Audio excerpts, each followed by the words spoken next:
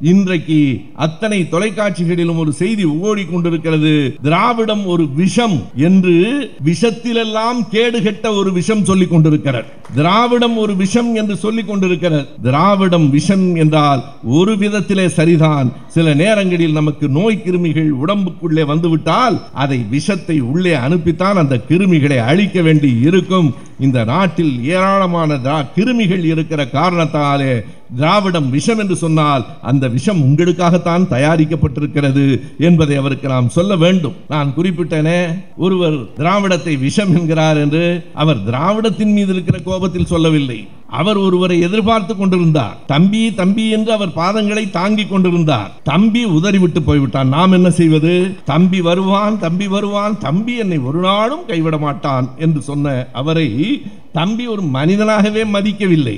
அதில் வருகிற கதறல் அதில் வருகிற குமுறல் நீ எங்கே வந்து மோதுகிறாய் என்றால் உன்னை உன் தம்பி மோதி விட்டான் என்று புதிதாக ஒரு அண்ணனை பிடிப்பதற்கு இன்றைக்கு முயற்சி செய்திருக்கிறார். அண்ணன் மிக உறுதியானவர் என்பது அவனுக்கு தெரியாது. அண்ணனை எல்லாம் நீ வளைத்து போட முடியாது. அப்படி நினைத்து பேசிக் கொண்டிருக்கிற அவர் எங்கே வந்து மோதுகிறார் என்றால் திராவிடத்திலே வந்து மோதுகிறார். திராவிடம் ஒரு விஷம் என்கிறார். திராவிடத்தையும் தமிழ் தேசியத்தையும் தம்பி எப்படி சமமாக பார்க்கலாம் என்கிறார். இது ஒரு கண் அது ஒரு கண் என்று தம்பி சொல்லுகிறானே. இது ஒரு விஷம் அது விஷத்தை தீர்க்கிற மருந்து. இரண்டும் எப்படி ஒன்றாகும் என்று அப்படி புலம்புகிற அளவுக்கு இன்றைக்கும் இருக்கிறது. என்ன திமுக கழகத்தினுடைய சாதனை என்றால் எழுபத்தி ஐந்து ஆண்டுகளுக்கு பிறகும் இளமை குறையாமல் இருக்கிறது என்பது மட்டுமல்ல எதிர்ப்பும் குறையாமல் இருக்கிறது. அன்றைக்கு என்ன எதிர்ப்பு இருந்ததோ அதே எதிர்ப்பு இன்றைக்கும் இருந்து கொண்டே இருக்கிறது.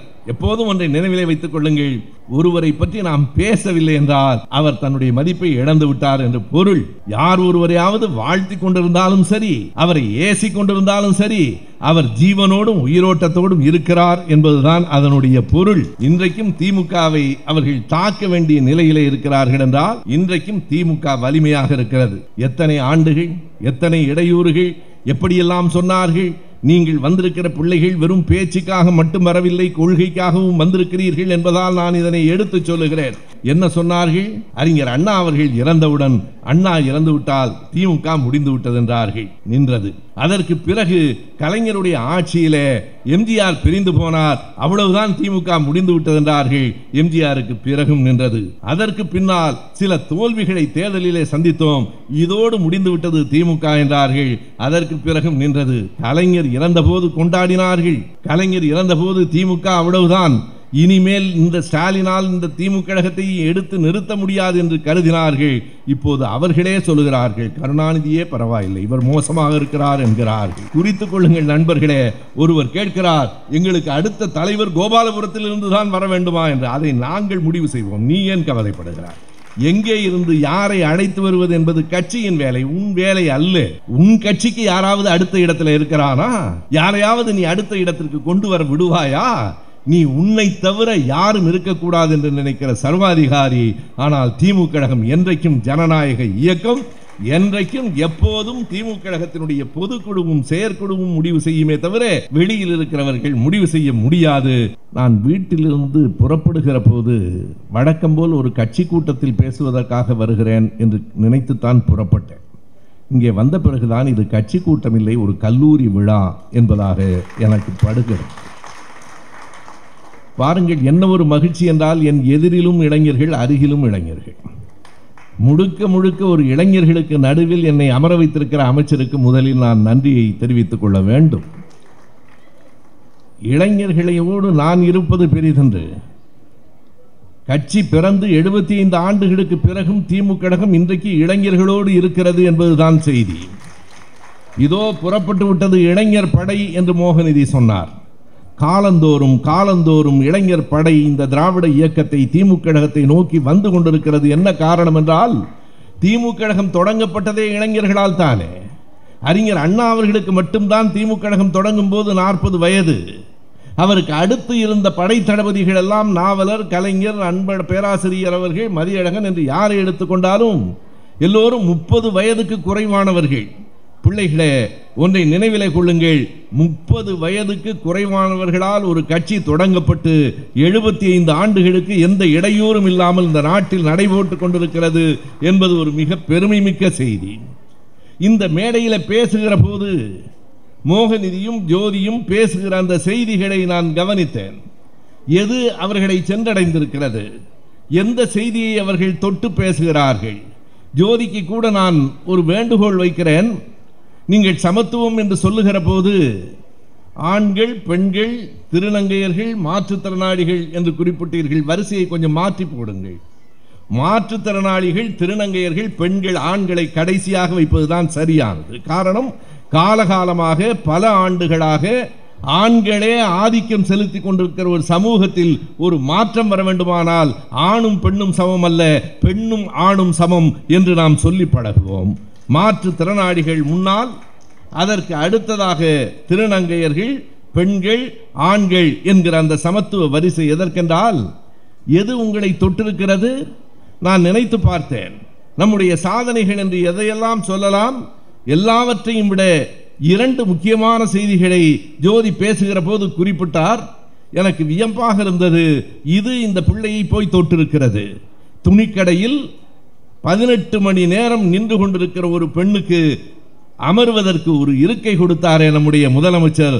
அந்த இருக்கை தான் ஒரு சட்டமன்ற உறுப்பினர் இருக்கையை விட பெரிதானது. அதற்கு ஒரு மனித நேயம் வேண்டும். நெஞ்சிலே ஒரு ஈரம் வேண்டும். இந்த நேரத்தில் எனக்கு நேற்றைக்கு படித்த ஒரு செய்தி நினைவுக்கு வருகிறது. என்னுடைய பேரன் வெளிநாட்டில் இருக்கிறான். அவன் என்னை பார்த்து கேட்டான் நீங்கள் எல்லோரை பற்றியும் பேசினீர்கள். ஏன் ரத்தன் டாட்டாவை பற்றி பேசவில்லை? என்று கேட்டான். ரத்தன் டாட்டா ஒரு கோடீஸ்வரர் இறந்து போய்விட்டார் அவ்வளவுதானே என்று நினைத்தேன். ஆனாலும் அவன் அப்படி கேட்கிறானே என்பதற்காக ரத்தன் டாட்டாவின் வாழ்க்கையிலே சிலவற்றை திருப்பி பார்க்கிற போது அவரையும் நான் பேசியிருக்க வேண்டும் பேசாமல் விட்டது தவறென்று புரிந்தது. எதற்காக தெரியுமா? ரத்தன் டாட்டாவிடத்திலே ஒரு கேள்வி கேட்கிறார்கள். உங்கள் வாழ்க்கையிலே மகிழ்ச்சியாக இருந்த நேரம் எது என்று கேட்கிறார்கள். அவர் சொல்லுகிறார் நான் இந்த நிறுவனத்தின் பொறுப்பை ஏற்ற நாள் எனக்கு மகிழ்ச்சியாக இருந்தது. இந்த நிறுவனத்தினுடைய பொருளாதாரத்தின் வளர்ச்சியை கூடுதலாக எடுத்துக்கொண்டு போய்விட முடியும் என்று நான் நினைத்ததால் எனக்கு அந்த மகிழ்ச்சி வந்தது. ஆனால் ஒரு கட்டத்திற்கு பிறகு அது சாதாரணமாகிவிட்டது. நிறுவனம் வளர்ந்தது பொருளாதாரம் பெரிய எல்லைக்கு போயிற்று எனக்கு அது ஒரு தொடர்ச்சியான மகிழ்ச்சியாக இல்லை. அதற்கு பின்னால் பல விருதுகளை பெற்றேன். அப்போதும் மகிழ்ச்சியாக இருந்தது. ஆனால் எல்லாவற்றையும் விட எனக்கு எந்த நிமிடம் மிகவும் மகிழ்ச்சியாக இருந்தது தெரியுமா? ரத்தன் டாட்டா சொல்லுகிறார் பிள்ளைகளை நீங்கள் கவனத்தில் வையுங்கள். எது மகிழ்ச்சியாக இருந்தது என்றால் ஒரு முறை என்னிடத்திலே வந்து கேட்டார்கள் மாற்றுத்திறனாளிகள் நாற்பது பிள்ளைகளுக்கு சக்கர நாற்காலிகளை நீங்கள் தர வேண்டும் என்று கேட்டார்கள். சரி என்று ஏற்றுக்கொண்டேன். நாற்பது சக்கர நாற்காலிகள் வாங்கி கொடுப்பது ரத்தன் டாட்டாவிற்கு பெரிய விஷயமா? அவருக்கு ஒரு மணி நேர தேநீர் செலவு கூட அது ஆகாது. சரி என்று ஒப்புக்கொண்டேன். என்னையும் மேடைக்கு அழைத்தார்கள். வெறும் சக்கர நாற்காலிகளை மட்டும் வாங்கி கொண்டு போயிருந்தால் அந்த தருணத்தை நான் இழந்திருப்பேன். என்னையும் அழைத்து கொண்டு போனார்கள். அந்த மேடையில் ஒரு சிறுவன் அந்த சர்க்கர நாற்காலியிலே உட்கார்ந்தபடி என்னை உற்று உற்று பார்த்தான். நான் அவனை கேட்டேன் என்ன அப்படி பார்க்கிறாய்? என்று கேட்டேன். அந்த சிறுவன் சொன்னான் இல்லை ஒருவேளை நான் சொர்க்கத்துக்கு வந்தால் கண்டிப்பாக அந்த சொர்க்கத்தில் நீங்களும் இருப்பீர்கள் என்பதால் அந்த முகத்தை சரியாக பார்த்து கொள்ளுகிறேன் என்றார். சொர்க்கம் இருக்கிறதா இல்லையா என்பது வேறு. ஒரு கவிஞன் எழுதினான் நீ வானத்தை படைத்தாய் என்கிறார்கள். ஆனால் அந்த வானத்தில் விமானத்தை நான் தான் படைத்தேன். நீ கடலை படைத்தாய் என்கிறார்கள். ஆனால் அந்த கடலில் கப்பலை நான் தான் படைத்தேன். நீ என்னை படைத்தாய் என்கிறார்கள். ஆனால் உன்னை நான் தான் படைத்தேன் என்று அவன் எழுதுவான். எனவே சொர்க்கம் இருக்கிறது இல்லை என்பதல்ல. அந்த அந்த மனிதருக்கு எது ஒரு பெரிய மகிழ்ச்சியை தந்தது? அந்த குழந்தை சக்கர நாற்காலியிலே அமர்ந்து அவரை பார்த்து சொன்ன அந்த சொற்கள் தான். இங்கேயும் நடந்திருக்கிறது உங்களில் பலருக்கு நினைவிருக்கலாம். மாற்றுத்திறனாளிகளை கடற்கரையிலே கரையிலே இருந்து கடல் வரைக்கும் ஒரு பாதை அமைத்து நம்முடைய துணை பொதுச் செயலாளர் கனிமொழி அவர்கள் ஒரு நாள் அந்த பிள்ளைகளை எல்லாம் அந்த பெரியவர்களை எல்லாம் அந்த சக்கர நாற்காலியில வைத்து கடற்கரையில இருந்து கடலுக்கு அடைத்து போய் அந்த கடல் அலைகள் அவர்கள் கால்களை தழுவும் போது அவர்கள் சொன்னார்கள் நாங்கள் வாழ்க்கையில் கடல் அலைகள் எங்கள் கால்களை தழுவும் என்று ஒரு நாளும் நினைத்ததில்லை. எத்தனை விதமான பாதைகள் நாம் நடந்து போனாலும் அந்த பாதைகள் அவர்களுக்கு கிடைக்காத பாதைகள். நீங்கள் எண்ணி பார்க்கலாம் கால்கள் தானே இல்லை என்று இயல்பாக நினைத்து விடாதீர்கள். எந்த ஒரு உறுப்பையும் நாம் இழக்கிற போதுதான் அதனுடைய பெருமை மிக நன்றாக தெரியும். எனக்கு ஒரு முறை கால் உடைந்து போய் காலை மேலே கட்டி இருக்கிற போதுதான் நடப்பதின் பெருமை என்ன அதன் அருமை என்ன என்று அப்போதுதான் புரிந்தது. எனவே அவர்களை சக்கர நாற்காலியிலே வைத்து அழைத்து கொண்டு போனதைப் போல எல்லோர்க்கும் எல்லாம் என்பதுதான் நம்முடைய திராவிட மாடல் அரசு நண்பர்களே. அதிலே ஒரு செய்தி பேருந்துகளிலே பயணம் செய்வது பற்றி சொன்னார். பேருந்துகளிலே எந்த ஜாதியைச் சேர்ந்தவராக இருந்தாலும் பயணம் செய்யலாம் என்பது எப்போது வந்தது என்பதை பிள்ளைகள் தெரிந்து கொள்ள வேண்டும். முன்பெல்லாம் அப்படி பேருந்துகளிலே எல்லோரும் சமமாக பயணம் செய்துவிட முடியாது. அவர் சொன்னார் அது இங்கே மட்டுமல்ல இடஒதுக்கீடு மேலை நாடுகளிலும் இருக்கிறது. உங்கள் கைபேசியிலே இருக்கிற. அந்த கூகுளில் தேடி பாருங்கள் அல்லது செயற்கை நுண்ணறிவை கேளுங்கள். அடுத்த நிமிடம் அது விடை சொல்லும் அஃபர்மேட்டிவ் ஆக்ட் அல்லது ஈக்குவாலிட்டி ஆக்ட் என்று போடுங்கள். அஃபர்மேட்டிவ் ஆக்ட் அல்லது ஈக்குவாலிட்டி ஆக்ட் என்று போடுங்கள். மேலை நாடுகளிலே இடஒதுக்கீடு எப்படி இருக்கிறது? இங்கே ஜாதியிலே பெரிய ஜாதி கீழ் ஜாதி என்பது போல அங்கே கருப்பன் வெள்ளை என்கிற வேறுபாடு இருக்கிறது. அந்த வேறுபாடுகளை சமப்படுத்துவதற்கு அங்கேயும் சட்டங்கள் இருக்கின்றன. இங்கே எப்படி பேருந்திலே எல்லோரும் பயணம் செய்யலாம் என்கிற சட்டம் வந்தது? குறித்து கொள்ளுங்கள் பிள்ளைகளே திராவிட இயக்கம் இந்த மண்ணிலே வரவில்லை என்றால் திராவிட இயக்கத்தினுடைய முன்னோடியான நீதி கட்சியினுடைய ஆட்சி இல்லை என்றால் அந்த நீதி கட்சியின் ஆட்சியிலே தான் டபிள்யூபிஏஎஸ் சவுந்தரபாண்டியனார் இந்த பெயர்களை நீங்கள் கேள்விப்படாமல் இருக்கலாம். கேள்விப்பட்டிருக்க வேண்டும் இல்லை என்றாலும் இன்றைக்கு கேள்விப்பட வேண்டும் என்பதற்காக சொல்லுகிறேன். W P A Soundarapandianar Ramanathapuram Jilla board தலைவராக இருக்கிற போது ஒரு ஆணையை வெளியிட்டார். அந்த ஆணை என்ன என்றால் இனிமேல் எந்த பேருந்திலாவது யார் ஒருவரையாவது சாதியை காரணம் காட்டி பேருந்திலே ஏற்ற முடியாது என்று சொன்னால் அந்த பேருந்தினுடைய லைசன்ஸை கேன்சல் செய்து விடுவேன் என்று சொன்னது நம்முடைய திராவிட இயக்கம்தான். இதுதான் சமத்துவத்திற்கான விதை. ஆனால் இன்றைக்கு என்ன நடக்கிறது? நம்முடைய அமைச்சரவர்கள் பேசுகிற போது சொன்னார் திராவிட இயக்கத்திற்கு ஒரு அவதூறு வருகிற போதெல்லாம் கொதித்து எழுகிறவர் என்று. அதற்கு வேறு எந்த காரணமும் இல்லை. வெறும் நன்றி உணர்ச்சி தான் காரணம். இன்றைக்கு நண்பர்களே நீங்கள் தொலைக்காட்சியில் பார்த்திருப்பீர்கள். நான் இந்த மேடையிலே அந்த பெயர்களை எல்லாம் சொல்லி இந்த மேடையை நான் குறைவுபடுத்த விரும்பவில்லை. ஆனால் செய்தியை சொல்லுகிறேன்.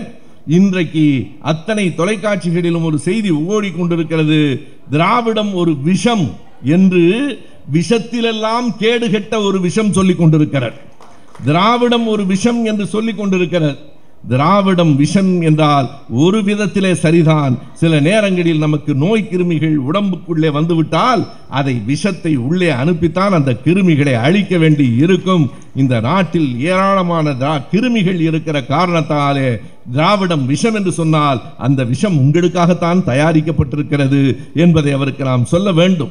நீ திமுக காரன் என்பதற்கு என்ன அடையாளம்? நீங்கள் வந்திருக்கிறீர்கள். கூட்டத்துக்கு தான் வந்திருக்கிறீர்கள். நான் உங்களை கட்சிக்குள் வாருங்கள் என்று நேரடியாக அழைக்கவில்லை. ஆனால் தம்பி மோகநிதி சொன்னதைப் போல இந்த கட்சிக்கான தத்துவம் என்ன? ஒவ்வொரு கட்சிக்கும் ஒரு தத்துவம் உண்டு என்று சொன்னால் அந்த தத்துவம் என்ன என்பதை நீங்கள் அறிந்திருக்க வேண்டும். திராவிட இயக்கத்தின் தத்துவம் என்ன? அடிப்படையாக ஒன்றே ஒன்றுதான் சமத்துவம் என்பதுதான் திராவிட இயக்கத்தின் நோக்கம். அதை புரிந்து கொள்ளுங்கள். நான் கட்சிக்காரன் என்பதற்கு என்ன அடையாளம்? என்னிடத்தில் கட்சியின் அட்டை இருக்கிறது. அது அடையாளம்தான். ஆனால் அது மட்டும் போதுமான அடையாளம் இல்லை.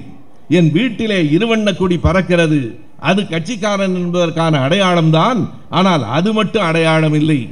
நான் உதயசூரியன் சின்னத்திற்கு தான் வாக்களிப்பேன். அது ஒரு அடையாளம் தான் ஆனால் அது மட்டும் அடையாளம் இல்லை பிறகு நான் திமுக காரன் என்பதற்கு எது அடையாளம் என்றால் ஐயா பெரியாரை தலைவர் கலைஞரை அறிஞர் அண்ணாவை எவனாவது குறைபடுத்தி பேசும்போது கொந்தளிக்கிறதே என் மனம். அதுதான் நான் திமுக காரன் என்பதற்கான அடிப்படை அடையாளம். என்னால் பொறுமை காக்க முடியாது. என்னால் அவர்களை பொறுத்து கொள்ள முடியாது. அவர்களை அடையாளம் காட்ட வேண்டும். அறையிலிருந்து அவர்களை பொது அரங்குகளில் அம்பலப்படுத்த வேண்டும் என்று கருதுகிறவன் நான். எண்ணி பாருங்கள் இந்த திமுக கழகத்தினுடைய வளர்ச்சி என்பது எளிதாக வந்துவிடவில்லை. மிக கடினப்பட்டு பல இடையூறுகளை சந்தித்து பேசுகிற போது சொன்னார்களே நாம் பேசுகிற இந்த மேடையில் நமக்கு மாலைகள் விழுகின்றன. ஆனால் ஐயா பெரியார் பேசுகிற போது மண்புழுக்களும் மண்ணும் சாணமும் வந்து விழுந்தது. அவற்றை எல்லாம் ஏற்றுக்கொண்டும் துடைத்து கொண்டும் தான் மேடையிலே பேசினோம். பொது வாழ்க்கை என்பது பிள்ளைகளே மேடைக்கு வந்திருக்கிறீர்கள். இது ஒரு புதிய அனுபவம். இந்த மேடைகள் என்பதும் பொது வாழ்க்கை என்பதும் நமக்கு பெருமையை கொண்டு வரும் புகழை கொண்டு வரும். ஆனால் அதே நேரத்தில் பல ஆபத்துகளையும் கொண்டு வரும். நீங்கள் எல்லாவற்றுக்கும் துணிந்துதான் மேடையிலே ஏற வேண்டும். இன்றைக்கு காலையிலே தான் நான் ஒரு செய்தியை படித்தேன். பட்டுக்கோட்டை அழகிரி என்று ஒருவரை நீங்கள் கேள்விப்பட்டிருப்பீர்கள். அஞ்சானஞ்சன் பட்டுக்கோட்டை அழகிரி அவரும் ஐயா பெரியார் அவர்களும் விருதுநகரில் ஒரு கூட்டத்தில் பேசிக் கொண்டிருக்கிறார்கள். அது ஆயிரத்தி தொள்ளாயிரத்தி நாற்பத்தி ஏழாம் ஆண்டு டிசம்பர் மாதம். அதை அவர் தேதியோடு எழுதியிருக்கிறார். அந்த கூட்டத்தில் பேசிக் கொண்டிருக்கிற போது அப்போதெல்லாம் இவ்வளவு பெரிய மேடைகள் இல்லை. இத்தனை ஆடம்பரமான விஷயங்கள் இல்லை. அது ஒரு சின்ன மேடை. பெரியார் முதலில் பேசத் தொடங்கியது எப்படி? ஒரு நாற்காலி ஒரு மேஜை அதில் ஒரு பெட்ரோமாக்ஸ் லைட் நம்முடைய இனமான பேராசிரியர் அவர்கள் எனக்கு சொன்னார்கள் நான் பெரியாரை எப்படி பார்த்துருக்கிறேன் எப்போ பார்த்துருக்கிறேன் தெரியுமா? என்று கேட்டார்கள். எப்போங்கய்யான்னு கேட்டேன். மயிலாடுதுறையில் ஒரு கூட்டத்தில் ஒரு சின்ன மேசையும் நாற்காலியும் அந்த மேசையின் மீது ஒரு பெட்ரோமாக்ஸ் லைட்டுமாக ஒருவர் பெரியவர் பேசி கொண்டிருந்தார். என் அப்பா என்னை அந்த கூட்டத்திற்கு அழைத்து சென்றார். அந்த மேடையிலே தான் நான் முதன் முதலாக பெரியாரை பார்த்தேன். அப்படித்தான் அந்த காலத்திலே கூட்டங்கள் இருந்தன. அன்றைக்கு விருதுநகரில் நடைபெற்ற கூட்டத்தில் ஐயா பெரியார் பேசிக் கொண்டிருக்கிறார். அருகிலே மேடையிலே அழகிரிசாமி அமர்ந்திருக்கிறார். சுற்றும் மக்கள் நிற்கிறார்கள். மேடைக்கு அருகிலே நின்ற ஒருவன் திடீரென்று கடகட என்று மேலே மேடையிலே ஏறுகிறான். எதற்கென்றால் பொது வாழ்க்கை சுகமானதுதான். ஆனால் பொது வாழ்க்கை ஆபத்தானதும் கூட என்பதற்காக சொல்லுகிறேன். திடீரென்று மேடையிலே ஏறுகிறான். எதற்கென்று யாருக்கும் தெரியவில்லை. அருகிலே வந்தபோதுதான் அதனை கண்டறிந்தார்கள். அவன் கையிலே ஒரு கத்தி வைத்திருக்கிறான். அந்த கத்தியை வைத்து பெரியாரின் மீது குத்துவதற்காக மேடையிலே ஏறியிருக்கிறான்.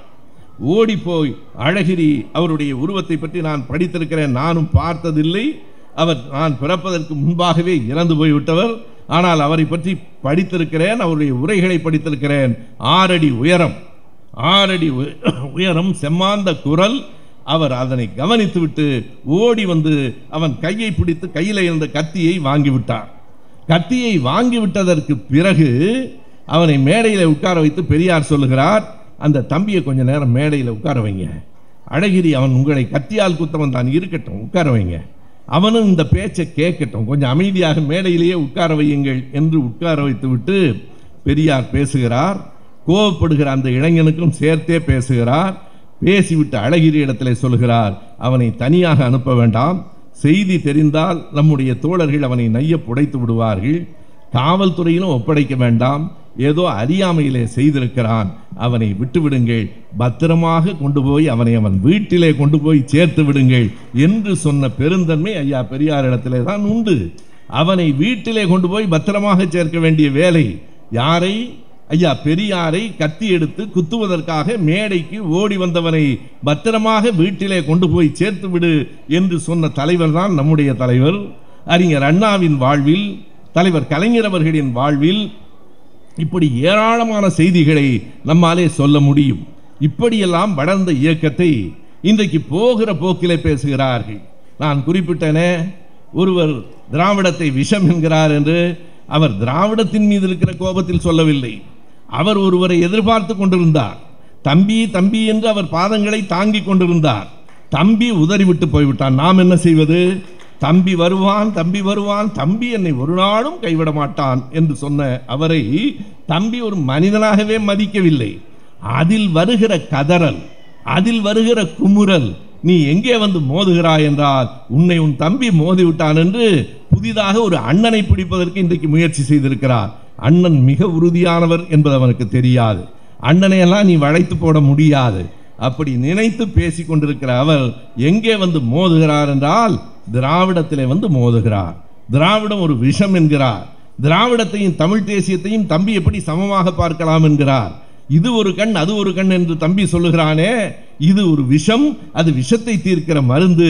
இரண்டும் எப்படி ஒன்றாகும் என்று அப்படி புலம்புகிற அளவுக்கு இன்றைக்கும் இருக்கிறது. என்ன திமுக கழகத்தினுடைய சாதனை என்றால் எழுபத்தி ஐந்து ஆண்டுகளுக்கு பிறகும் இளமை குறையாமல் இருக்கிறது என்பது மட்டுமல்ல எதிர்ப்பும் குறையாமல் இருக்கிறது. அன்றைக்கு என்ன எதிர்ப்பு இருந்ததோ அதே எதிர்ப்பு இன்றைக்கும் இருந்து கொண்டே இருக்கிறது. எப்போதும் ஒன்றை நினைவிலே வைத்துக் கொள்ளுங்கள்.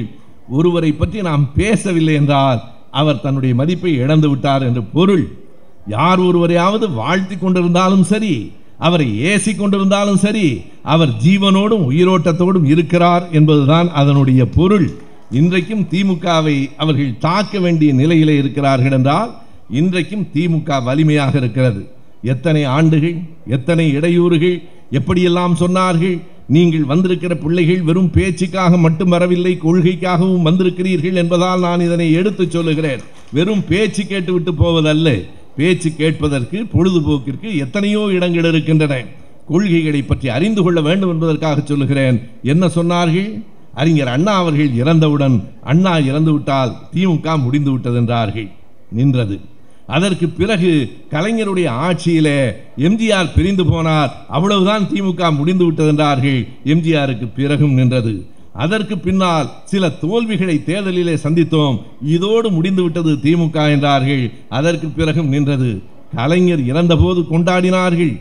கலைஞர் இறந்தபோது திமுக அவ்வளவுதான். இனிமேல் இந்த ஸ்டாலினால் இந்த திமுக கழகத்தை எடுத்து நிறுத்த முடியாது என்று கருதினார்கள். இப்போது அவர்களே சொல்லுகிறார்கள் கருணாநிதியே பரவாயில்லை இவர் மோசமாக இருக்கிறார் என்கிறார்கள்.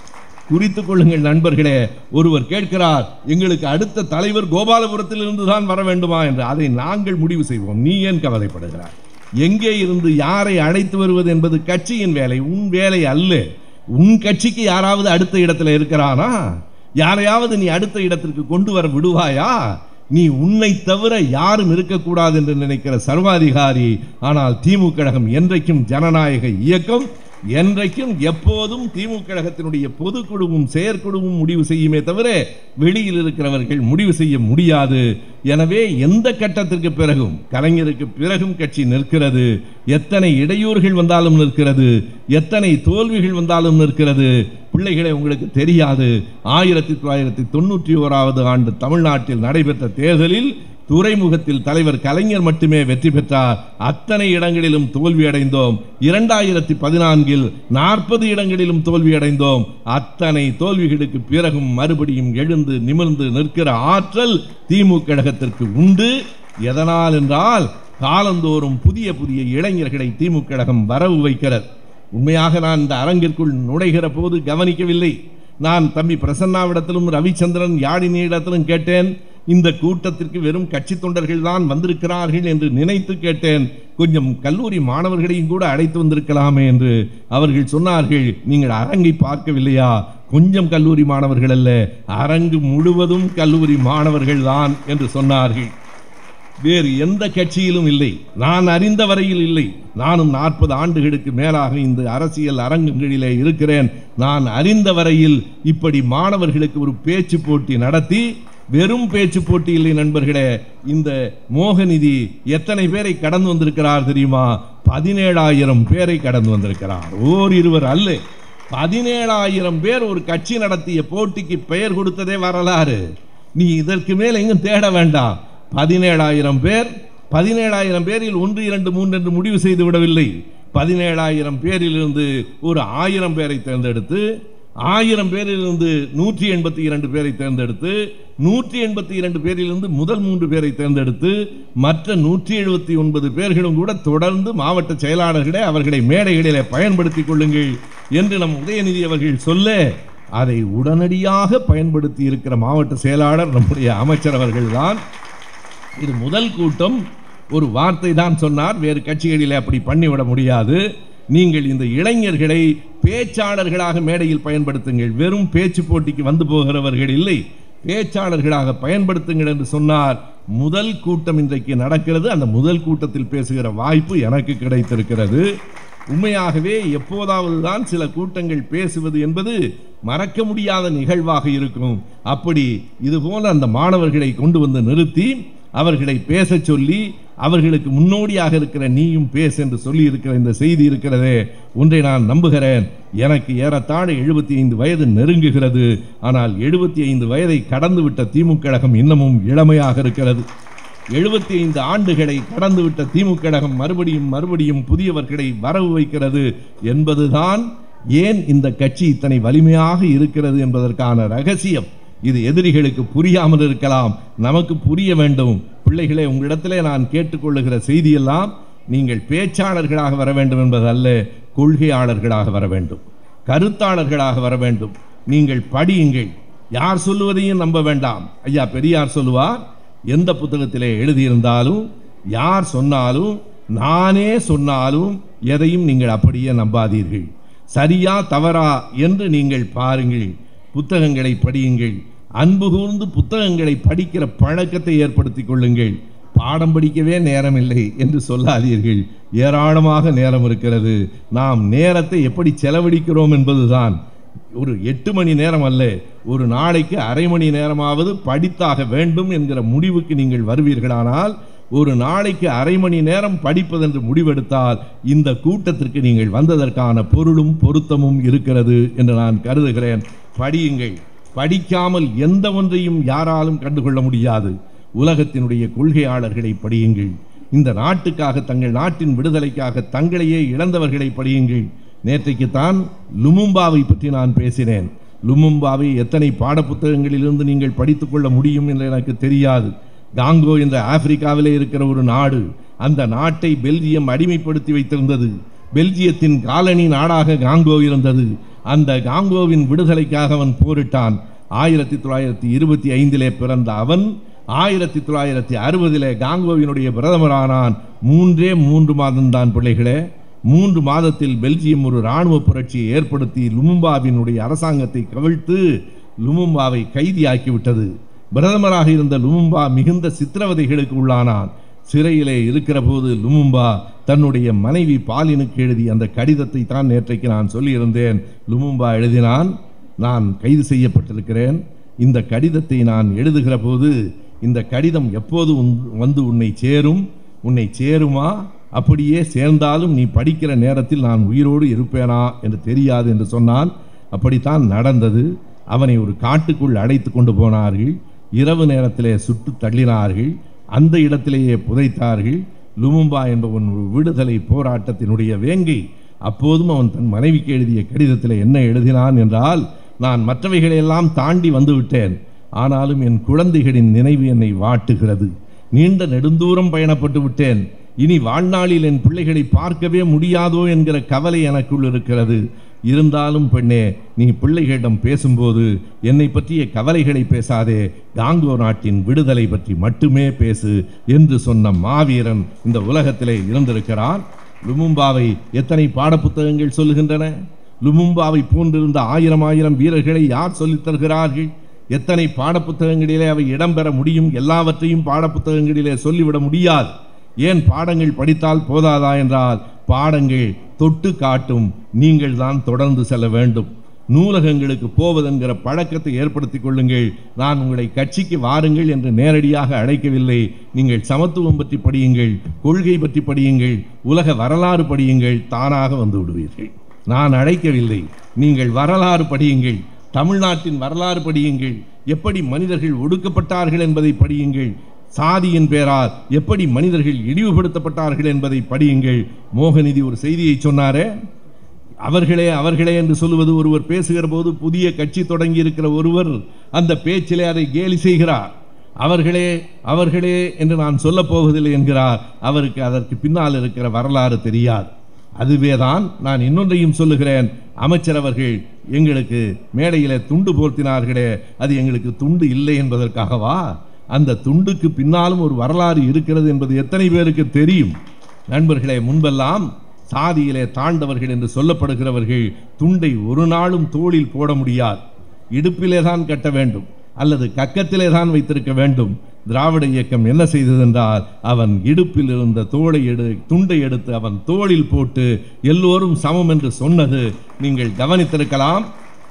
எனக்கும் மோகநிதிக்கும் ஜோதிக்கும் ஒரே மாதிரியான துண்டுகள் ஒரே மேடையிலே போடப்பட்டன என்றால் எல்லோரும் சமம்தான் என்பதை சின்ன சின்ன நிகழ்வுகளில் கூட எடுத்து சொல்லுகிறார் இது வெறும் துண்டல்ல நண்பர்களே நம் வரலாற்றின் ஒரு பகுதி. அது மட்டுமல்ல ஒரு புயல் அடித்த போது நெசவாளர்களும் விவசாயிகளும் பலர் நலிவுற்ற போது ஒரு தீர்மானமே தஞ்சாவூரில் நடைபெற்ற திமுகவினுடைய பொதுக்குழு கூட்டத்தில் ஆயிரத்தி தொள்ளாயிரத்தி ஐம்பத்தி மூன்றிலே நிறைவேற்றப்பட்டது. அது வேறொன்றும் அல்ல நாம் நெசவாளர் துயர் துடைக்க எதற்காக துண்டு போற்றப்பட்டது? நெசவாளர் துயர் துடைக்க எல்லோரும் கைத்தறி துண்டுகளை வாங்கி மேடைகளிலே போர்த்துங்கள் என்கிற அறிவிப்பு ஐம்பத்தி மூன்று இறுதியிலே வந்தது. ஐம்பத்தி நான்கு தொடக்கத்தில் ஜனவரி மாதத்தில் சென்னையிலே தலைவர் கலைஞர் அவர்கள் திருச்சியிலே அறிஞர் அண்ணா அவர்கள் காரைக்குடியிலே நாவலர் அவர்கள் துண்டுகளை தோளில் ஏந்தி வீடு வீடாக சென்று விற்பனை செய்தார்களே அது நெசவாளர் துயர் துடைப்பதற்காக அப்படி பரவலாக கொண்டு போன அந்த கைத்தறி ஆடைகள். நாம் மேடையிலே போர்த்துவது கைத்தறி ஆடைகளாக இருக்க வேண்டும் என்பதுதான். அது கால ஓட்டத்திலே மாறி படபடப்பான பொன்னாடைகள் வந்து சேர்ந்து விட்டன. ஒன்றை சொல்லுகிறேன் அந்த பொன்னாடைகள் குஜராத்திலே இருந்து வருகின்றன. வேண்டாம் குஜராத்திலிருந்து எதுவும் இனிமேல் நமக்கு வேண்டாம் என்பதையும் கவனத்திலே வைத்துக்கொண்டு கைத்தறி ஆடைகளை போர்த்துவதும் அவர்களே என்று அழைப்பதும் வெறும் சடங்குகள் இல்லை வரலாற்றில் அதற்கும் ஓர் இடம் இருக்கிறது. இவற்றையெல்லாம் படியுங்கள் தொடர்ந்து கூட்டங்களை கேளுங்கள். முன்பு போல் அல்ல இன்றைக்கு வலையொலிகளிலே எந்த பேச்சை வேண்டுமானாலும் நீங்கள் இருந்த இடத்தில் இருந்து கொண்டு கேட்க முடியும். படியுங்கள் கேளுங்கள் செயல்படுங்கள். நன்றி வணக்கம்.